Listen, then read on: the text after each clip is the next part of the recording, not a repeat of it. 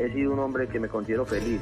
Siempre he estado contento, siempre he estado optimista, siempre he tenido fe en la vida. Pablo Emilio Escobar Gaviria impactaba la ciudad. Entonces yo lo que veía era un padre que era muy querido por la gente. ¿Usted se cree el Robin Hood antioqueño? A nuestra patria llegó el poder oscuro y criminal del narcotráfico. Oiga que tenemos que crear un caos muy berraco, muy berraco para que nos llamen a paz. Escobar estaba matando magistrados, periodistas, policías. Que yo desde la selva los mando matar a todos, que a la larga los que van a perder van a ser ellos. El enemigo número uno de la sociedad colombiana es el terrorista Pablo Escobar, que asesina despiadadamente y sin contemplación a niños, mujeres y hombres inocentes. Yo pensé que él era inmortal.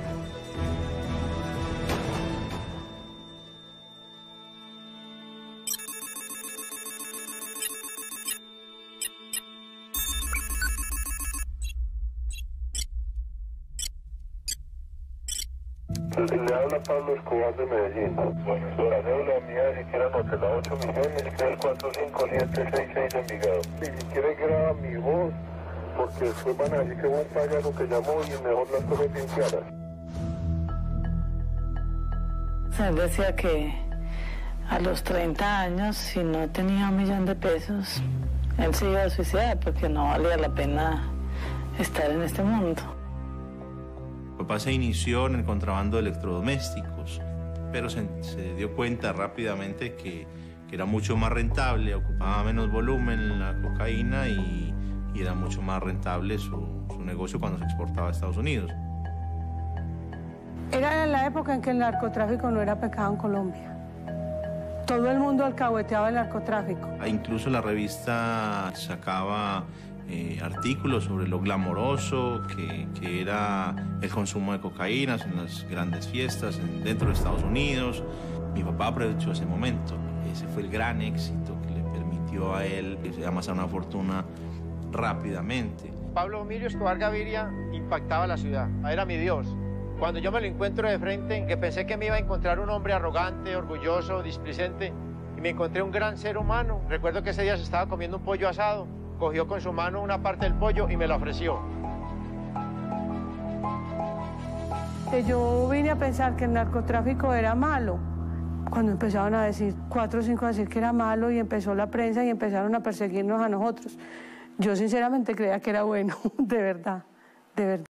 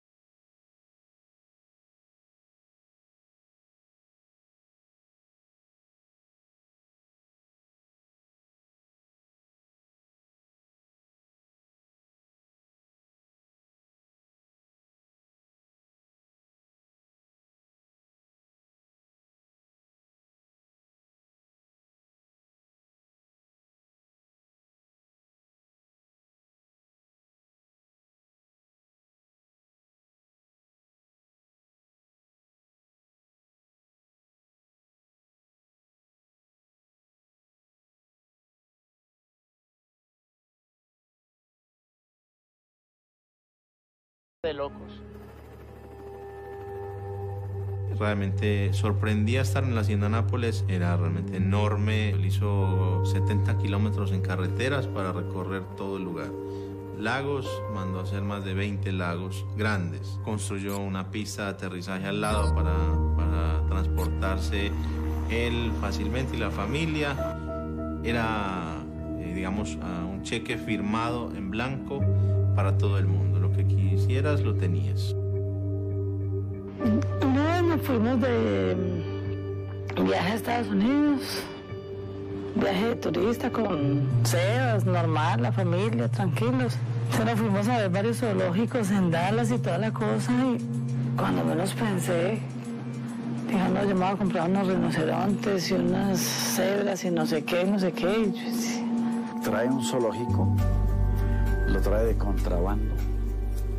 Cuando menos pensamos estaban 12 mil personas por fin de semana visitándolo. Pablo disfrutaba un montón de ver que la gente del pueblo iba y que podía ver eso que jamás en su vida lo iban a ver ni siquiera por televisión. Se vivía en esa opulencia, se vivía en ese derroche. La hacienda Nápoles era un paraíso del mal. Se sentía la presencia de la aventura y del mal. De allí salió mucha cocaína hacia los Estados Unidos de Norteamérica. En la hacienda Nápoles hubo muchísimos muertos. En la hacienda Nápoles hubo muchas torturas. Pero el patrón nunca dejó que se enterrara a nadie allí. Estábamos ahí en una conversación y llegaron con un señor que creo que trabajaba con él. Y eh, parecía que le había robado tres o cuatro millones de pesos, no sé. Y llegó con las manos esposadas en la parte de atrás y le hizo amarrar los pies. Cuando ya estaba amarrado de pies y manos, lo empujó a la piscina. Y el tipo se ahogó. Y cuando él lo empujó a la piscina, le dijo duro, esto le pasa a todo el que le robe a Pablo Escobar.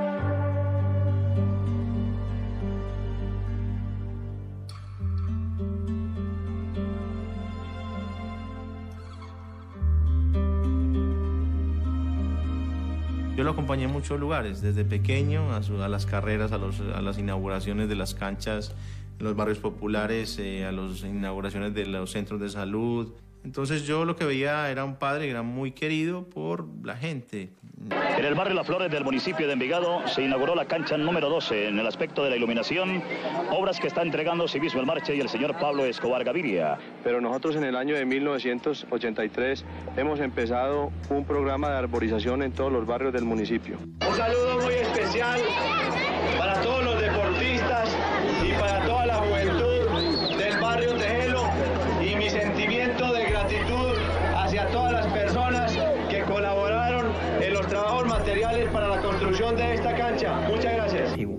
built soccer fields, he built communities, and did all this stuff. Él regaló las tribunas, y regaló las, eh, la iluminación. Debían ser 7 mil personas. Estaba a oscuras la cancha. Entra Escobar, saluda. Y 7 mil personas decían, Pablo, Pablo.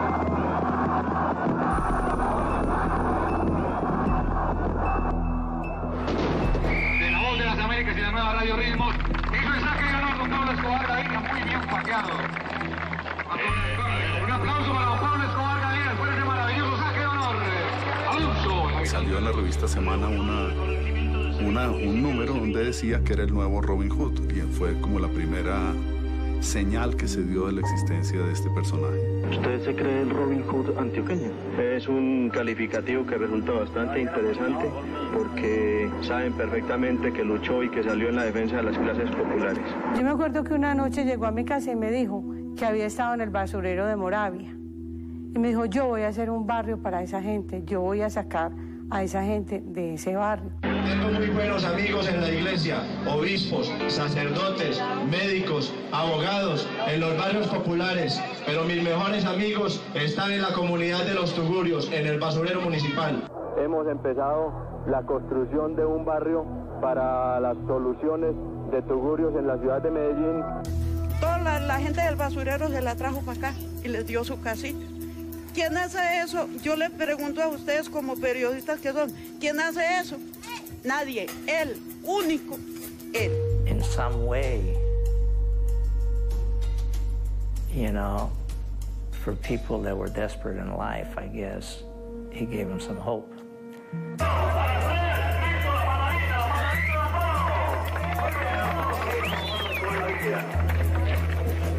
Obviously, he tried to play the role of being a Robin Hood. Un barrio que promovió, porque él no fue definitivamente ni fue el creador ni fue el, el gestor. Él eh, llamó a 150, 200 personas y las obligó a dar una plata para él llevarse los créditos. His family would like to believe that there, that there was this other positive side to the man. Frankly, I don't believe it. Él ayudaba porque sentía el placer de dar, el placer de compartir. No gift came free from Escobar. If he gave you a gift, you were expected to respond in kind. I know that at Christmas, you know, he would buy gifts, thousands of gifts for people all over Medellin in the areas, the barrios, you know, uh, places close to the Hacienda Nápoles. Why was he doing this? So people would tell him, hey, there are cops around here, and they're looking for you, because he was buying protection. But they didn't see it that way. They saw him as a, you know, as a Santa Claus, you know, so. Creo que los que se aventuran a, a decir de que lo hizo por meros intereses políticos y de poder se equivocan porque no conocían verdaderamente su corazón. Yo he sido un hombre que me considero feliz. Siempre he estado contento, siempre he estado optimista, siempre he tenido fe en la vida. De los sueños de él era hacer lo que los políticos no hacían y poner al servicio eh, su fortuna para ello.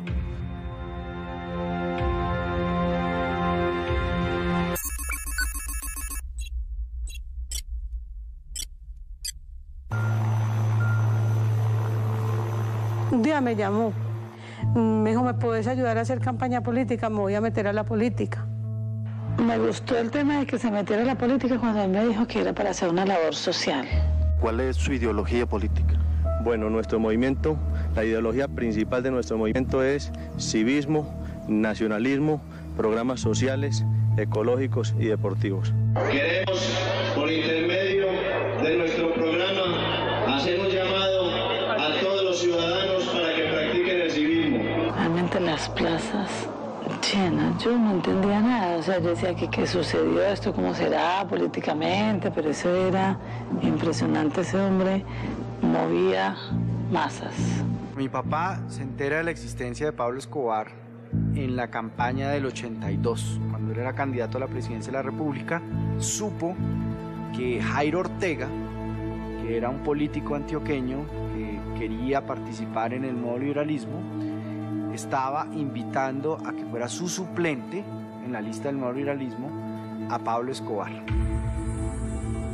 Y el coordinador del nuevo liberalismo llama a mi papá y le dice que ese señor Escobar era un señor muy raro, porque era un señor que tenía mucha plata, que le daba regalos a los campesinos que no se sabía de dónde venía esa plata. Entonces mi papá, en un viaje a Medellín, decide hacer un discurso público en donde él afirma que Pablo Escobar y que Jairo Ortega no hacen parte de las listas del nuevo liberalismo al Congreso y de esa manera los expulsa públicamente.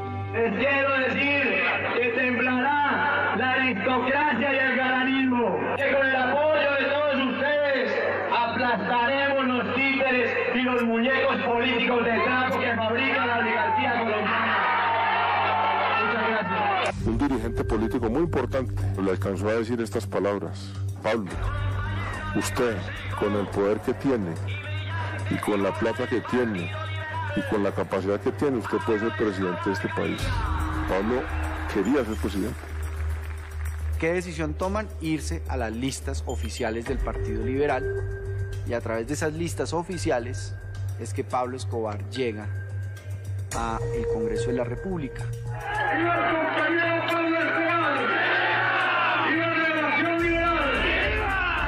El pueblo votó por nosotros y nos eligió para que lo representáramos en el Congreso de la República.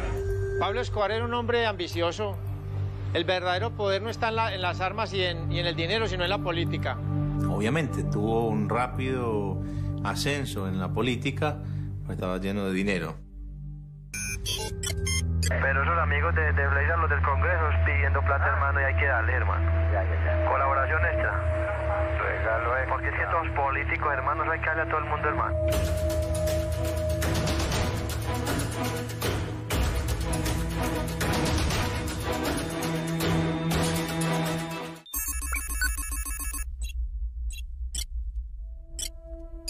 Ministro de Justicia, doctor Rodrigo Lara Bonilla. Posteriormente, el nombramiento de Rodrigo Lara como ministro de Justicia en el gobierno de Belisario Betancourt eh, hace que Rodrigo Lara emprenda, digamos, unos debates muy fuertes sobre lo que llamaban en esa época los dineros calientes. Se adelanta un gran debate nacional contra lo que se llama dineros de, de origen poco claro, dineros calientes. Su nombre ha estado vinculado a ese debate. Eh, yo no lo llamaría dineros calientes, yo lo llamaría dineros amnistiados. El país debe conocer la realidad de ciertos poderosos capitales que creyeron que la amnistía patrimonial significaba el olvido de los delitos que sus titulares cometieron para lograr formar sus fantásticas fortunas. ¿Usted puede asegurar que su dinero o nunca ha tenido vinculación con el narcotráfico? Siempre he asegurado que mi dinero no tiene vínculos con el narcotráfico. El doctor Rodrigo Lara entra en una confrontación con Pablo Emilio Escobar Gaviria en el Congreso de la República. Porque ya un narcotraficante como Pablo Escobar en el Congreso ya era delicado para la democracia colombiana. A esta hora avanza en la plenaria de la Cámara el debate sobre los dineros de origen dudoso, cuya intromisión en la política ha causado gran escándalo. En la sesión intervino el representante Jairo Ortega, de quien es suplente Pablo Escobar. Quiero hacerle una pregunta muy respetuosa al señor ministro de Justicia. La etapa fuerte es cuando empieza a mostrar el dedo y de repente le hacen una celada. Siento que Lara recibe un millón de pesos para financiar su campaña. Fue un millón de pesos en un cheque a nombre del doctor Rodrigo Lara y que yo voy a hablar de todo el proceso como se consignó este cheque y hasta dónde llegó. El señor ministro de Justicia se encontraba acorralado frente a las pruebas que presentó mi compañero de Cámara, Jairo Ortega Ramírez. Entonces, la reacción de Rodrigo Lara Bonilla ante ese acto, ese debate, fue intensificar su ofensiva contra los narcotraficantes. Yo era presidente de la Cámara y cuando menos pensé en ese debate, se me habían filtrado adentro del salón de sesiones una buena cantidad de la escolta de Escobar armada. Fue un día tenso, difícil. Hay investigaciones en los Estados Unidos que no puedo dar a formar aquí en esta noche en la Cámara sobre actuaciones delictivas.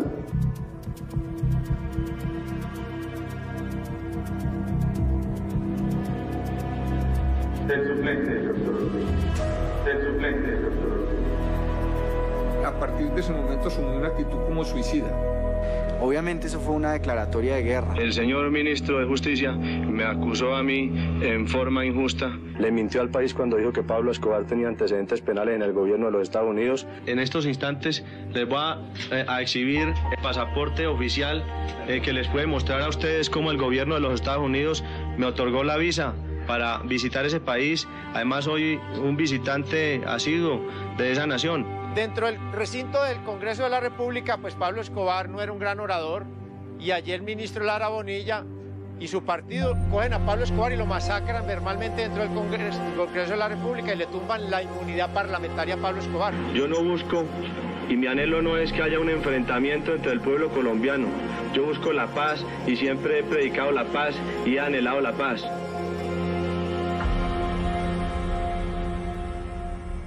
Si alguna, vez había decidido intervenir en política era porque sentía la necesidad de prestar un servicio a la comunidad, pero yo he tomado la determinación de retirarme definitivamente de la, política porque considero que para prestarle un servicio a la comunidad lo puedo hacer con mis obras cívicas sin tener ninguna participación en ella. Un día me dijo Escobar, me dijo, hablando de su paso por la política, me dijo, hombre, terminé metido en la verdadera mafia. Eso sí son. Y Lara no, no se convence y sigue hurgando, hurgando, hurgando, hasta que al final llega esa tranquilidad. Descubren 13,8 toneladas métricas de cobre, más de seis cocinas, no sé cuántas pistas de aterrizaje, todos esos aviones, avionetas. Eso ya es industria. Bueno, Rodrigo Lara yo le hice una entrevista para mi programa de televisión y hablamos de la muerte. Yo me mantendré protegido de todas maneras, porque mmm, pienso que de todas maneras eh, van a tratar de cobrarme lo que he hecho para colocar a los criminales en su sitio. Vamos a ver qué pasa en estos próximos días.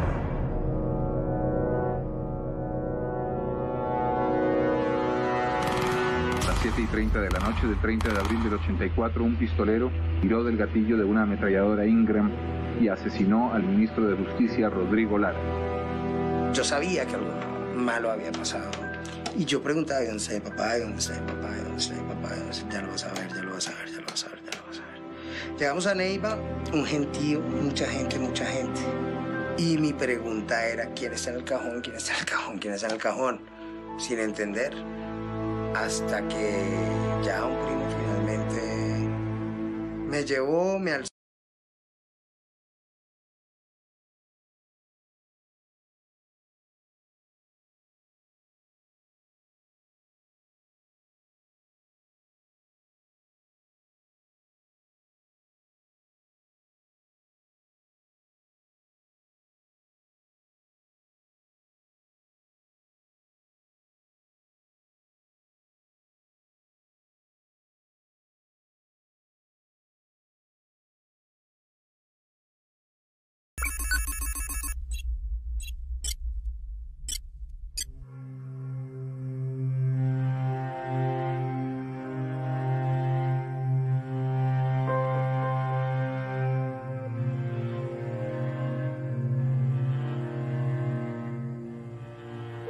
Colombia entregará a los delincuentes solicitados por la comisión de delitos en otros países para que se les castigue de manera ejemplar en esta operación universal contra un ataque también universal. Belisario Betancourt, el presidente en ese momento, en el entierro de Rodrigo Lara en el sepelio, anunció que iba a darle plena aplicación al tratado de extradición. Pero los mafiosos se fueron a Panamá, apoyados, protegidos por el general Noriega, que estaba en poder. Yo estaba viviendo con mi marido y de la noche a la mañana a mí me dijeron te tenés que ir del país ya. Yo sabía que se había muerto un ministro, un ministro de justicia, que era una situación muy compleja, pero ¿por qué me tenía que mover yo? ¿O cuál era mi situación? Yo tenía, yo, a mí me faltaban 15 días para tener a Manuela. El 6 de mayo de 1984, el ejército entró por vez primera a la que se llamó la fortaleza de Pablo Escobar, la hacienda Nápoles, en Doradal. Ah, ¿todo bien, hermano? ¿Usted qué? ¿Cómo se cambió la de Nápoles? Ah, ya. Las órdenes se van a quedar. Lo mejor para que pague la nómina tan brava que tengo yo ahí, tan, tan y puta. 6 de mayo de 1984, Pablo Escobar, Jorge Luis Ochoa y Rodríguez Gacha buscaron la oportunidad de reunirse en Panamá con el expresidente Alfonso López Miquelsen, quien se encontraba allí como observador de las elecciones generales panameñas. Los capos querían hacer llegar el mensaje de que no tenían nada que ver con el asesinato del ministro de Justicia. Los capos aceptaron que controlaban entre el 70 y el 80% de la producción de cocaína en Colombia y propusieron al gobierno una amnistía. En dicha oportunidad, el cartel ofreció al gobierno de Belisario Betancourt el desmonte de laboratorios, retirarse del mercado de la coca, repatriar sus capitales y ayudar a pagar la deuda externa del país. Estaban dispuestos a entregarse. Yo le dije que nada de eso se podría hacer sin la colaboración o la aceptación o la aquiescencia de los Estados Unidos, de la DEA.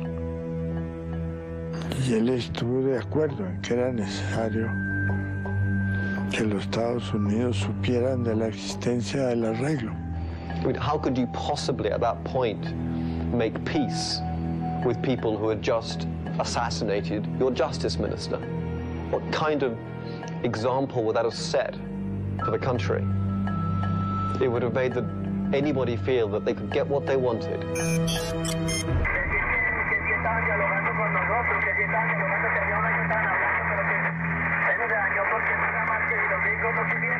Drugs are menacing our society. They're threatening our values and undercutting our institutions. They're killing our children. 37 federal agencies are working together in a vigorous national effort. And by next year, our spending for drug law enforcement will have more than tripled from its 1981 levels. El gobierno de Betancourt rechazó la propuesta y en un comunicado público se negó a cualquier transacción con los jefes del narcotráfico. Hay anécdotas increíbles, como 50 mafiosos colombianos trotando con trajes de licra, vestidos de licra por la mañana en las avenidas panameñas y 50 Mercedes-Benz detrás de ellos.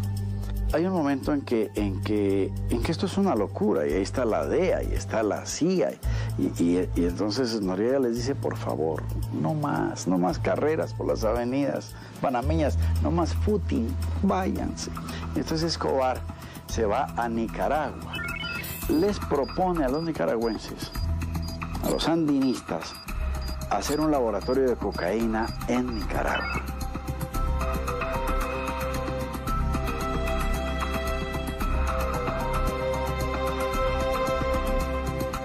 Escobar escucha las palabras de Ortega, que es el presidente sandinista de, Nicaragua, y a través de sus palabras, entre líneas, entiende que lo va a entregar a las autoridades de los Estados Unidos, y Escobar no, no alcanza a, a terminar de escuchar la entrevista de Ortega, sino que toma un auto, se va rapidísimo al aeropuerto y se viene a Colombia en su avión. Cuando llegan los sandinistas a capturarlo ya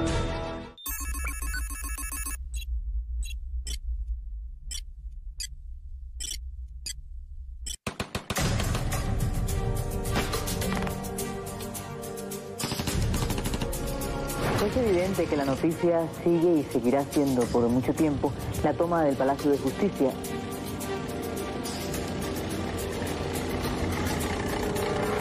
Pablo Emilio Escobar Gaviria colaboró económicamente con la toma del Palacio de Justicia. ¿Qué se va a pedir? ¿Por qué da el dinero? Quemar los archivos, donde están todos los expedientes contra los extraditables y ejecuta la mayor cantidad de magistrados posible para no tenerlos que ejecutar en las calles. El Ministerio de Defensa entregó hoy el balance de víctimas y el material de guerra decomisado. Magistrados asesinados 12, incluido un auxiliar.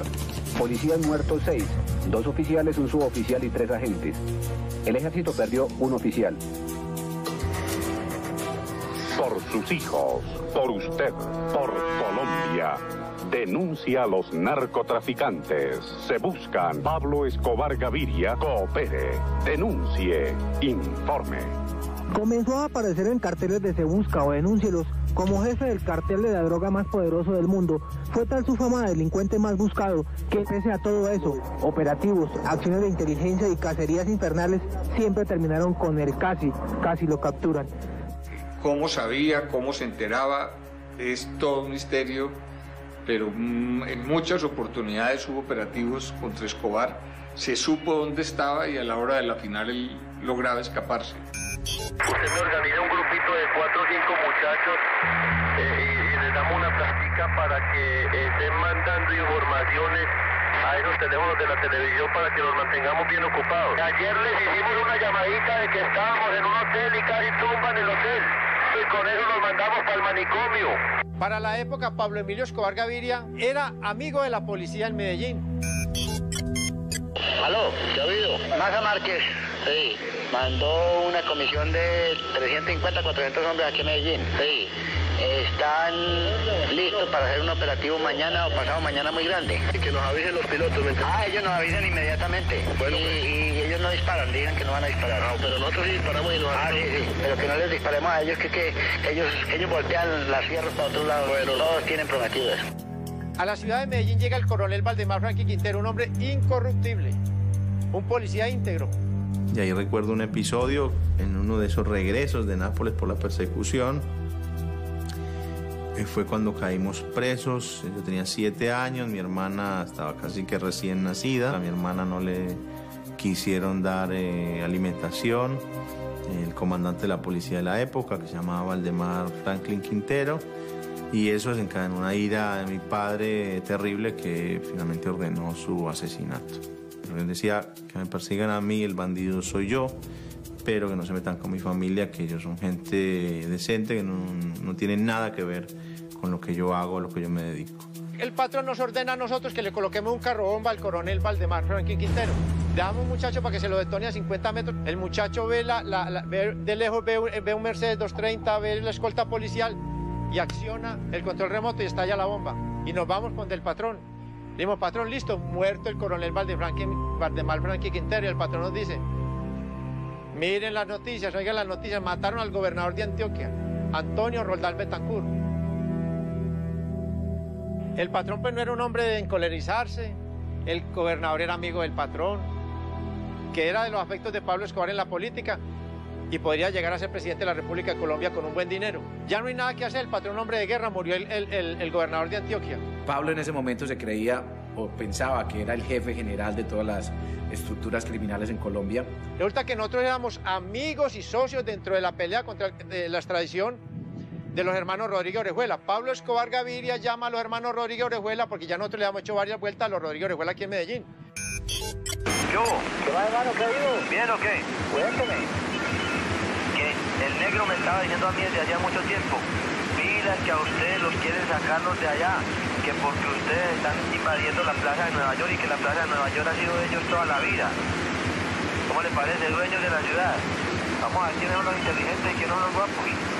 Eso es lo que se va a demostrar aquí. Pablo le dice, señor, si usted no está conmigo, es mi enemigo. Tiene 24 horas para que lo piense y tome una decisión y le cuelga. La violencia en Colombia cobró anoche más víctimas.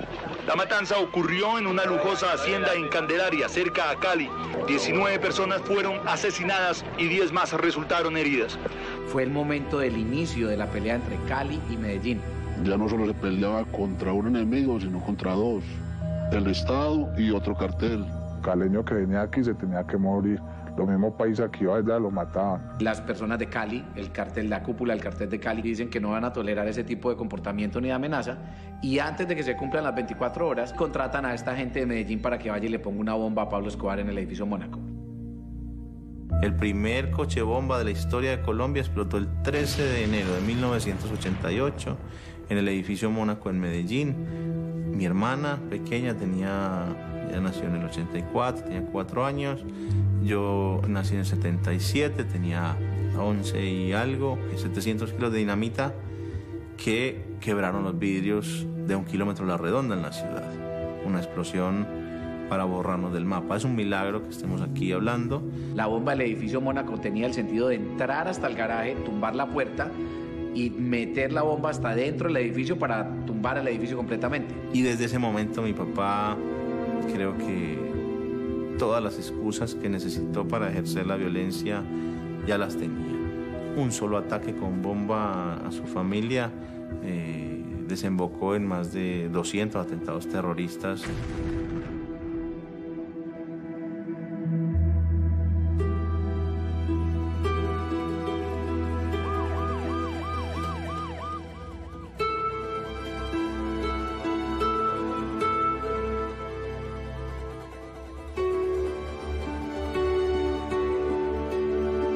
Violencia principalmente era desarrollada por el cartel de Medellín, eh, bajo el título de Los Extraditables, que era un grupo de narcotraficantes que estaba financiado por todos los carteles que generaban corrupción al Estado y terrorismo. Es injusto que unas personas que cometieron un delito en el país sean juzgadas en otro y condenadas a penas que ni siquiera existen en Colombia. A lo único que le temían era a ser extraditados.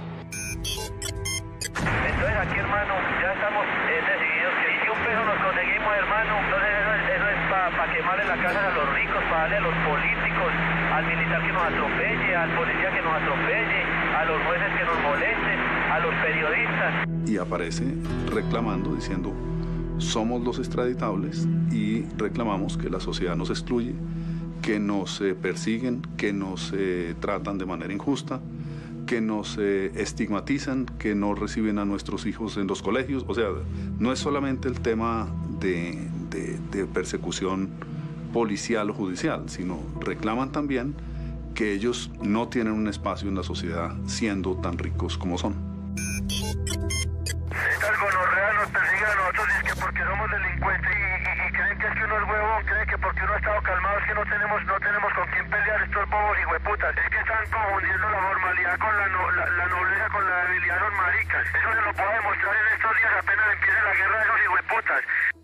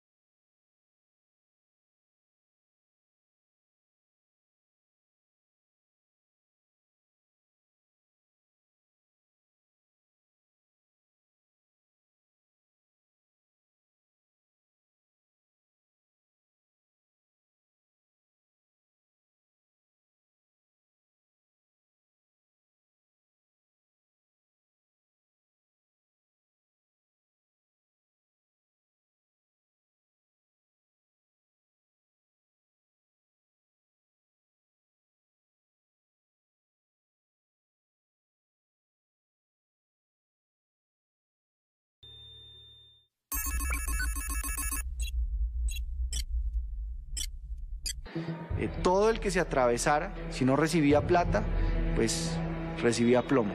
Los únicos enemigos son los que utilizan el terror, la violencia para callar al pueblo colombiano, para intimidarlo o para asesinarle.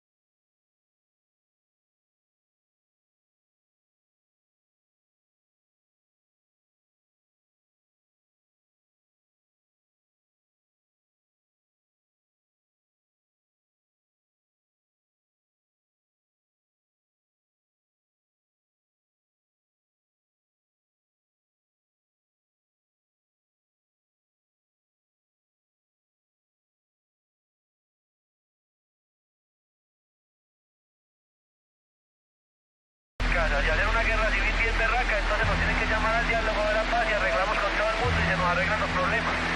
No le veo otra solución. Pero hay que luchar, hermano, y hay que poner todo el corazón para esto y, nos vamos a morir todos, nos morimos todos.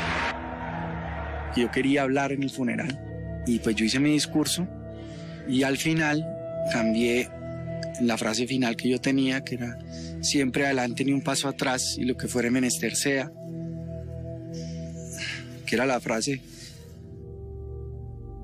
Quiero pedirle al doctor César Gaviria que en sus manos encomendamos las banderas de mi padre. Para que sea usted el presidente que Colombia quería y necesitaba. Siempre adelante, ni un paso atrás, y lo que fuere menester sea.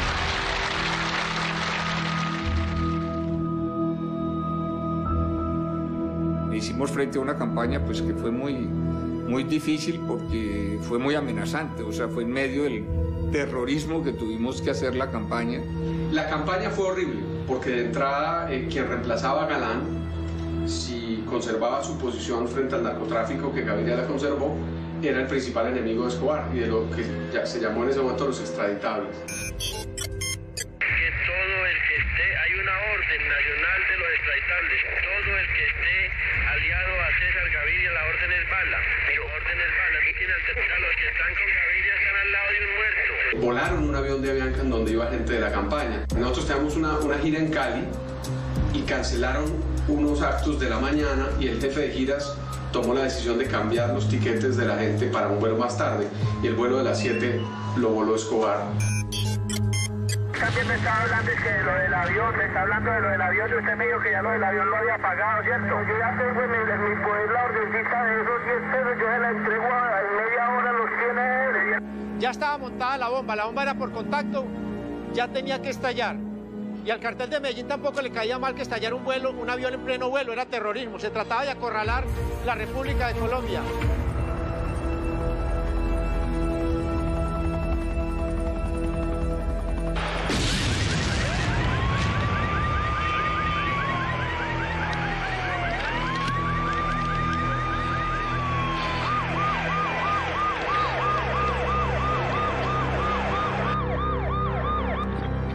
La bomba del DAS fue el atentado terrorista más grande para la época en el mundo. El bus no entró hasta las instalaciones del DAS, donde entra las instalaciones del DAS, lo saca del planeta. A las 7 y 15 minutos el camión bomba entró por esta calle. Tres hombres lo abandonaron y tres minutos después, esto fue lo que quedó. Para la época era el año 1989, fue el año más fatídico para el Estado colombiano y el más beneficioso para la mafia. Vivíamos casi que en una permanente eh, crisis. El orden público era un problema descomunal. It was a horrible way to live. I mean, there were days that there were five or six bombs going off in different parts, and you know, people walking down the street would get killed. Esta mañana a las 6 y 30, un automóvil cargado con dinamita explotó frente a las instalaciones del periódico El Espectador. El diario El Espectador se ha convertido en los últimos 10 años en un símbolo de la cruzada contra el narcotráfico en el país. El atentado de hoy es una muestra más de la osadía de los jefes de los carteles. Pablo Escobar entendió, entendió muy bien los medios de comunicación. Lo que no entendió o pensó que podía doblegarlos.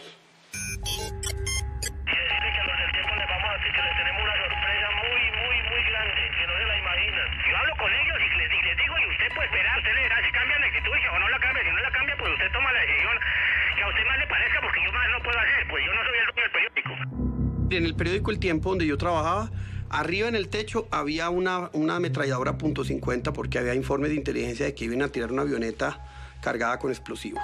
Rodeado de un clima de guerra, en la que morían muchos pero nadie se capturaba, asumió el presidente Gaviria la presidencia.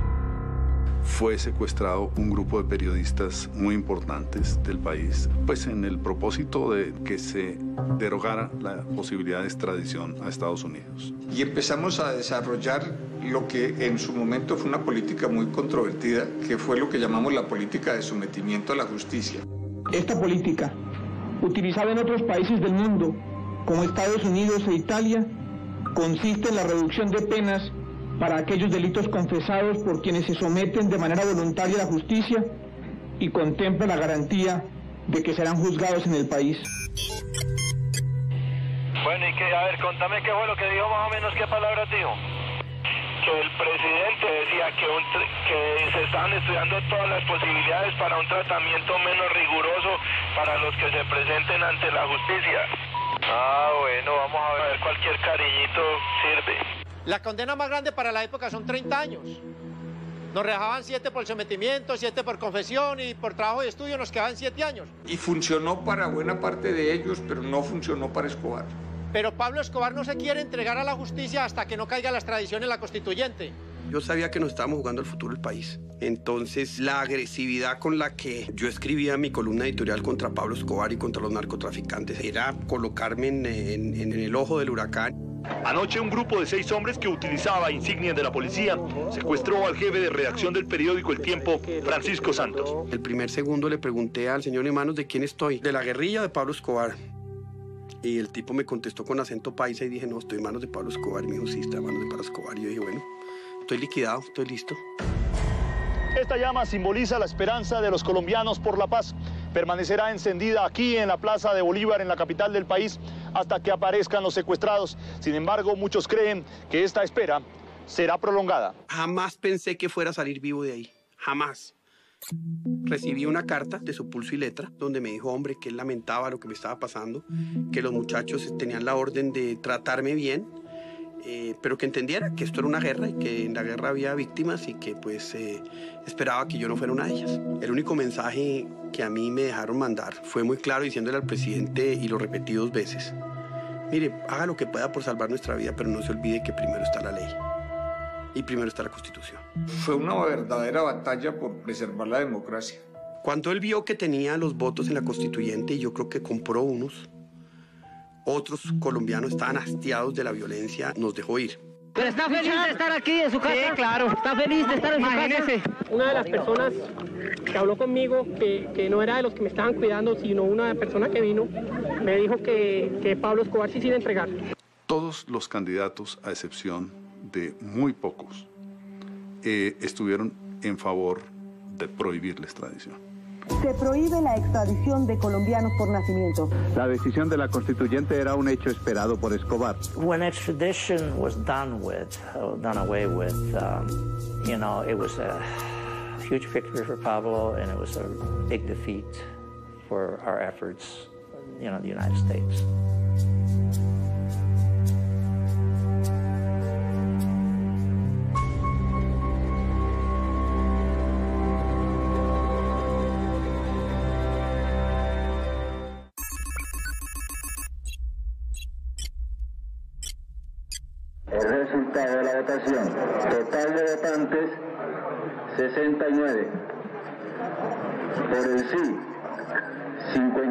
Por el no, 13. 5 abstenciones. Atención. Pablo Escobar Gaviria se entregó hoy a las autoridades pocas horas después de haber sido sepultada la extradición en la Asamblea Nacional Constituyente. Claro, señor presidente, ¿qué se siente? ¿Qué significa para Colombia, para el gobierno? No, una profunda satisfacción de ver cómo estamos abandonando el sendero del narcoterrorismo, cómo Pablo Escobar se ha sometido a la justicia colombiana. Como consecuencia de la política de paz y fortalecimiento de la justicia del señor presidente y de su gabinete ministerial, deseo sumarle todos los años de cárcel que sean necesarios para contribuir al fortalecimiento de la democracia de mi querida patria colombiana. Un helicóptero traslada a Escobar a una cárcel muy especial, la Catedral. Aterrizó el helicóptero del señor Escobar. Obviamente todo el esquema de seguridad se desbarató, porque automáticamente todo el mundo volteó a mirar al señor Pablo Escobar, ¿no?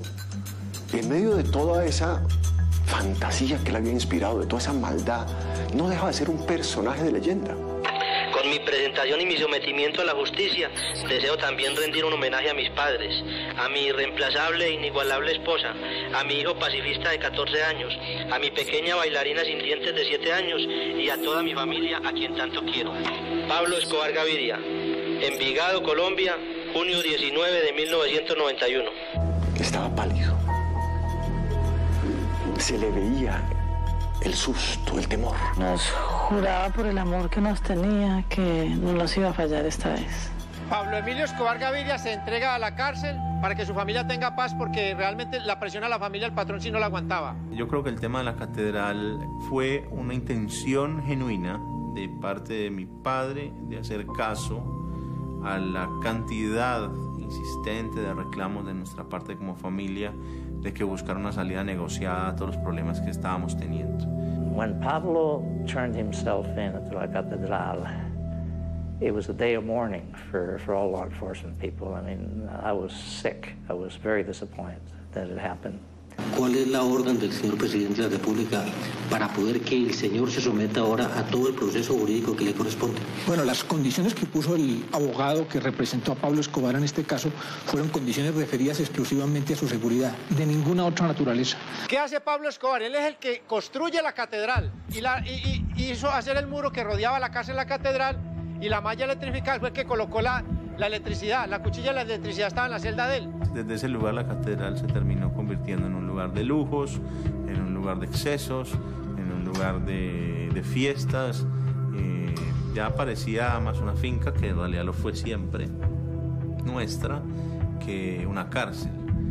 Y la guardia personal era, era un chiste, ¿no? Era pues llegabas a la catedral, yo llegaba de visita y veía a los empleados de mi padre de toda la vida, ahora uniformados con el, el uniforme de la penitenciaría.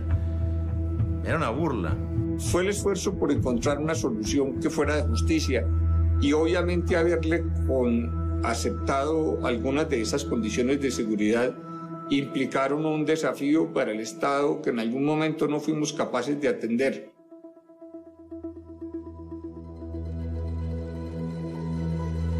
Escobar había dejado de ser narcotraficante y se había convertido en un gran extorsionista de sus socios. Y los socios, pues con Escobar preso, pues tomaron ciertos grados de libertad y se le rebelaron, entonces los llamaba a rendir cuentas y las asesinaba y generó un, una, digamos, una gran ruptura dentro de la mafia. Pablo Escobar was in prison. Um, the mistake that he made uh, was when he started killing the Moncadas and the Galeano family members that he believed betrayed him. Ya no eran nuestros amigos, ya no nos financiaban, ya estaban más al lado del cartel de Cali que el lado nuestro. Y el patrón sopesó esa situación. Y el patrón era un guerrero y el guerrero vive de la guerra. Él tomó esa dura decisión porque toda la vida vivió en el filo de la navaja. Pero allí en la cárcel de la catedral eh, murió de un balazo el negro Galeano, lo mató Otto, yo maté aquí como Moncada. Hicimos una gran fogata allí quemamos los cuerpos durante toda la noche. Al otro día pues quedaron los huesos porque es muy difícil de quemar. Los, los machacamos con una maceta, con un martillo y les echamos ácido. Ahí se desaparecieron Kiko y Galeano. Cuando el patrón me dio la orden de matar a Kiko, yo la cumplí, pero esa noche yo no dormí. Ese día yo maté a mi segundo padre. El único favor que le pude hacer a Kiko es que no sufriera y le disparé en la cabeza.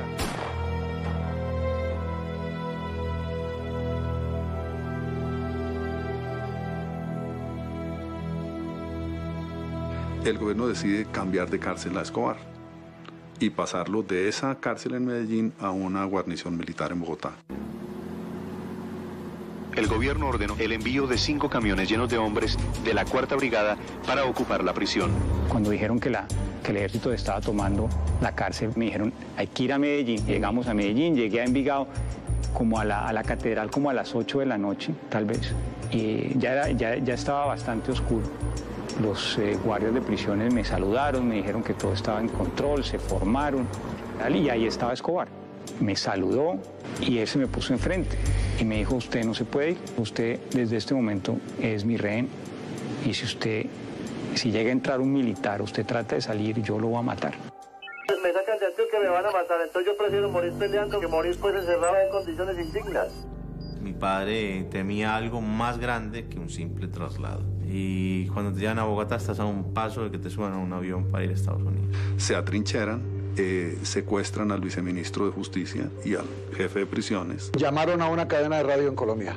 Escobar describiendo cómo estaba atrincherado dentro del túnel que él mismo había construido en la cárcel. Y explicaba que se estaba acabando el aire. Todo esto, transmisión en vivo y en directo. Lo que se descubrió después es que cuando hizo esa llamada, Escobar ya tenía tres horas de haber salido de la cárcel. Tranquilamente salió por, por la puerta, por la ventana, por donde sea.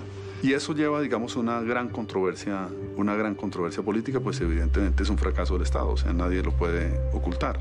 El gobierno, después de que Pablo Escobar se fuga, se da cuenta de que ese ridículo general ante el mundo eh, es única y exclusivamente su culpa. No quiere volver a capturar a Pablo vivo, lo quieren matar. That was a day of joy for us. I mean, the police and DEA celebrated because we were back on the hunt. The hunt was back on. So the game was back on.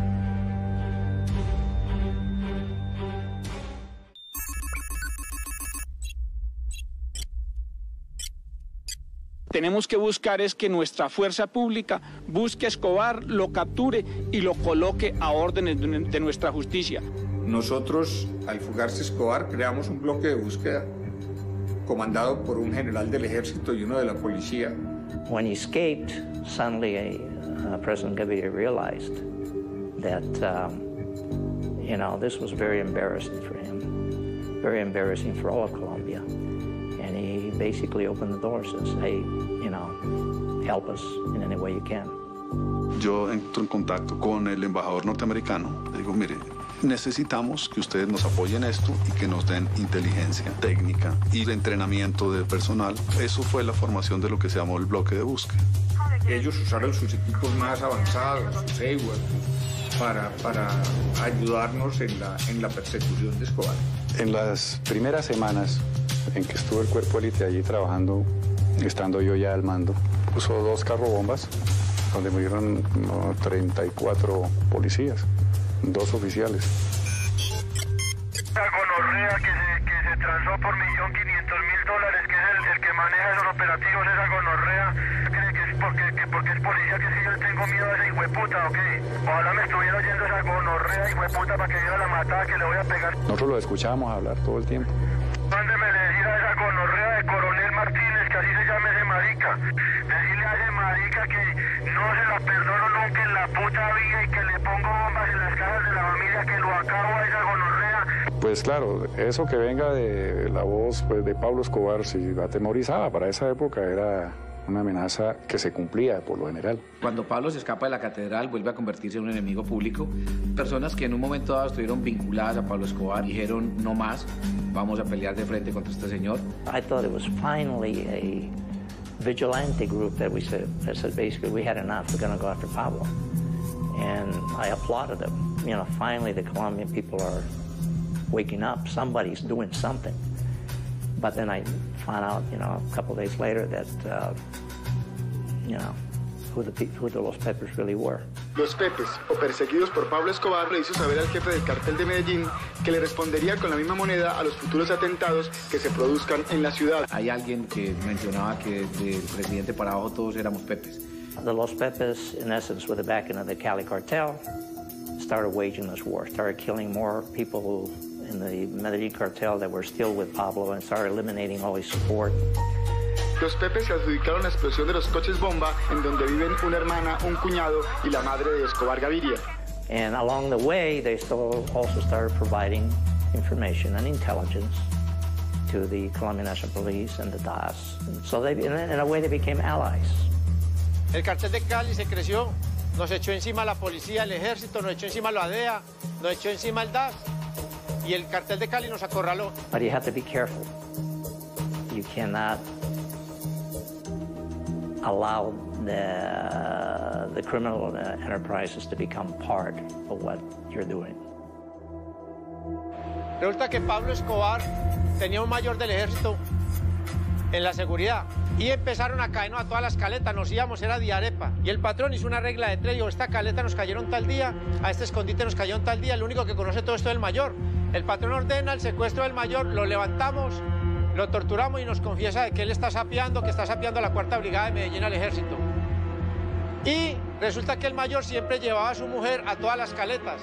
Y el mayor bajo fuerte tortura dice que al otro día va a haber un operativo que la mujer va a mostrar una caleta y al patrón ya le han mandado una información de que había una mujer que subía a los helicópteros en embarazo y estaba mostrando las caletas. Yo le saco el teléfono al mayor, la llamo a la señora, ella sale a una bomba de gasolina, la señora no sale ahí y ahí la matamos.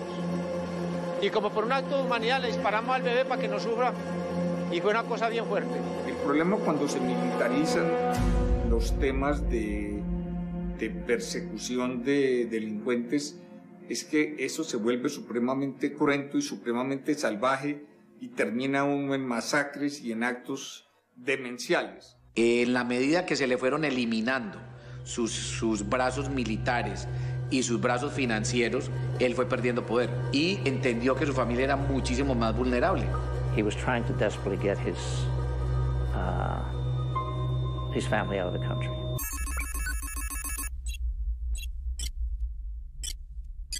Cuando yo me entero de que eh, por acciones del, fiscal general eh, Alemania le va a dar asilo a, a la familia de Escobar, y pues empezamos una puja con el gobierno alemán.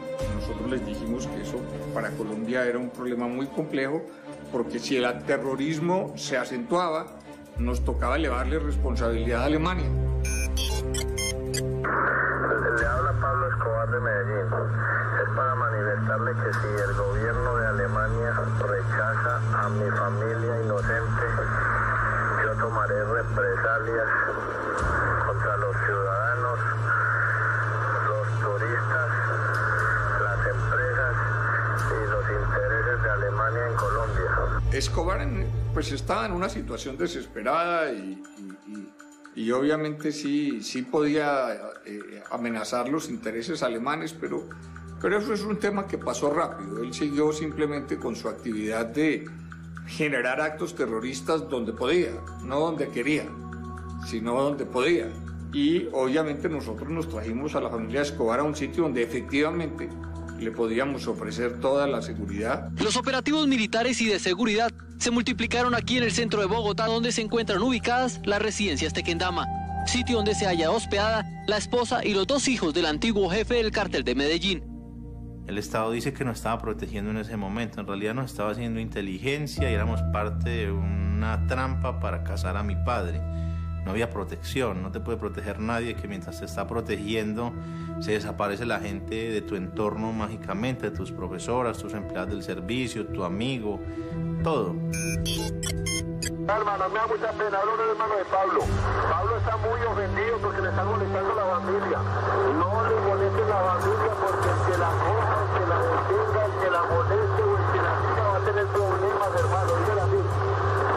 estábamos habitando la, la casa se estaba ofreciendo recompensa por nosotros, ya para entonces 4 millones de dólares por mi cabeza.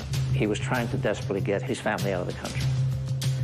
And we were blocking every attempt that the family made. Pablo was becoming more vulnerable every day. He was basically alone. In other words, it was just a matter of time. Listo, de todas maneras, cuídense mucho. Usted sabe que todos lo necesitamos.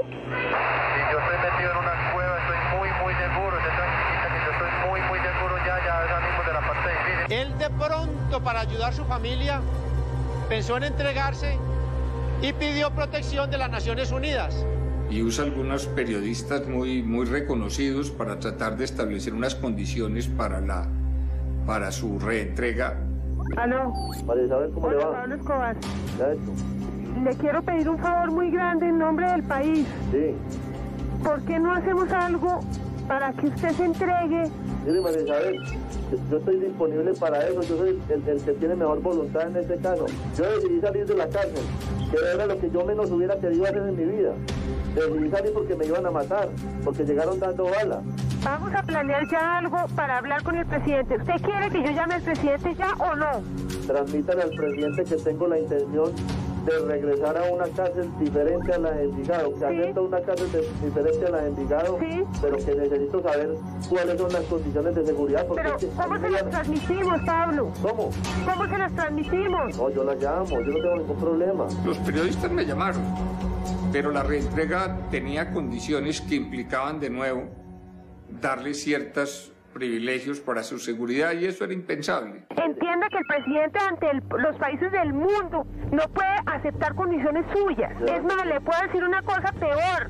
Ya se aceptó la entrada de los gringos acá a buscarlo a usted. Mire, yo colaboro, yo colaboro y estoy dispuesto a lo que sea, pero a mí pues no me da miedo de los gringos tampoco, ¿me entiendes? No, Pero no le da miedo, ¿cómo así? Si, si todo lo hemos hecho para que no le extraditen a usted, toda esta sangre y todo se ha corrido para que no le extraditen a usted, ¿cómo no le va a dar miedo? Si se hubiera entregado, pues nos hubiera tocado recibirlo, pero la, la claridad es que nunca pensó entregarse y que siempre pensó en, digamos, tener sus principios de destruir al Estado.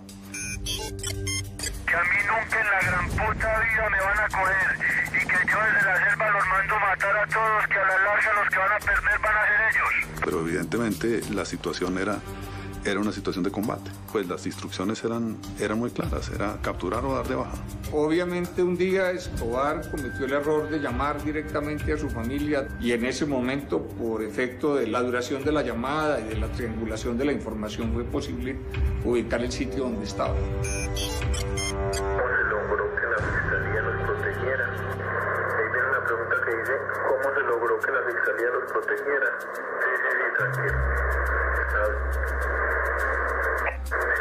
¿Se habló con alguien de la fiscalía para la reubicación de ustedes en el exterior?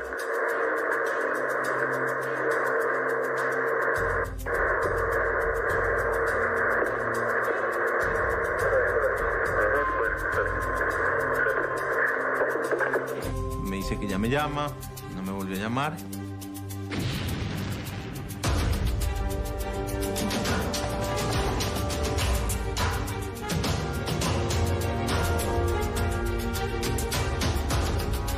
Y me llama una periodista cinco o diez minutos después de decirme Pablo Escobar está muerto.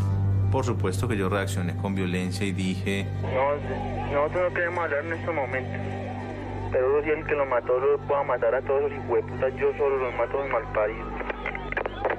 Yo me retracté de mis amenazas exactamente 10 minutos después de haberlas hecho. Me puse a pensar, Dios mío, voy camino a vivir lo que toda la vida le reproché a mi padre que venía viviendo y lo mal que estaba por ver. Mi propuesta de continuar con la violencia y de convertirme en Escobar 2.0 no me lo iba a regresar con vida. Yo quiero personalmente dejar muy en claro que no vengaré, no vengaré la muerte de mi padre, porque ahora lo único que me preocupa es el futuro de mi sufrida familia. Pablo Escobar era un hombre que amaba a su familia, a su hija Manuela, a su hijo Juan Pablo y a doña Tata. Por ellos murió.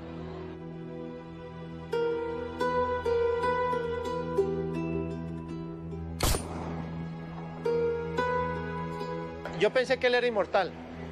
Cuando yo ya veo que ya es el que yo lo veo en ese techo de esa casa que muestran las imágenes, que estaba así gordito, con barbado, ese era él, a mí me lloró el alma.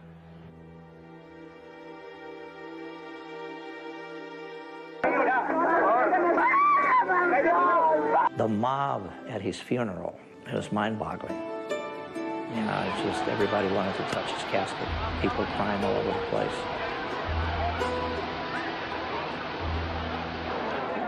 I mean, this guy was a monster.